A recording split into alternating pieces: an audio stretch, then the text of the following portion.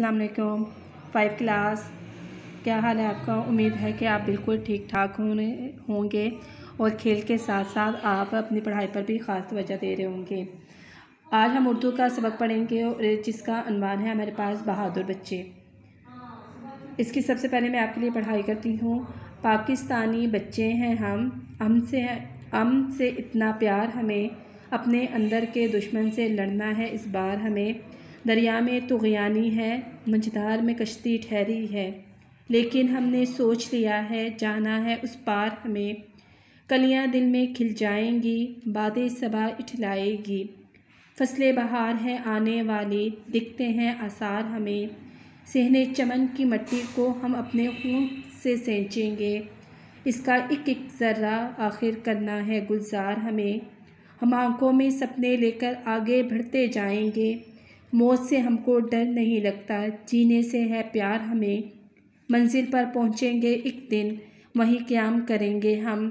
रोक नहीं सकती नासिर कोई भी दीवार हमें। यह नज़म नासिर बशीर की लिखी हुई है और इसमें उन्होंने पाकिस्तान के बहादुर बच्चों की तारीफ़ की है। वो कहते हैं कि पाकिस्तान के बच्चे जो हैं, वो बहुत ज़्यादा बहादुर हैं और अपने वतन से प्यार करते हैं।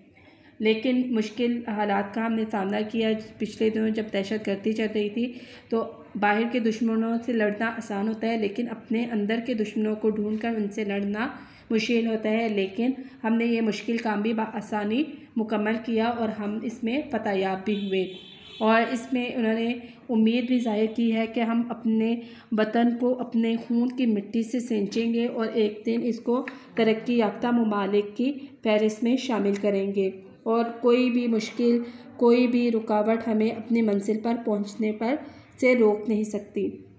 आपने इस सबक के इमला के अल्फाज और इस तमाम अशार की तशरीहत नोट से देख के अपनी कॉपी पे लिखनी भी है और याद भी करनी है। इस नज़म को आपने बार बार पढ़ना है ताकि हमारे अंदर जज्बा पुलवतनी जो है वो उभरे और उसमें इजाफ़ा हो। वैसे तो हम सभी अपने वतन से बहुत ज़्यादा प्यार करते हैं, लेकिन उसको दोबारा उभारने के लिए ज़रूरी है कि आप इस नज़म को बार बार पढ़ें।